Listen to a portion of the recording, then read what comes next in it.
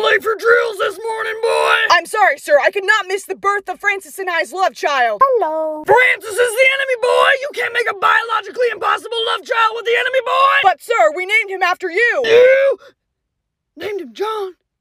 After me? No, we named him Drill Sergeant, sir. What? You are the godfather, sir. What the hell?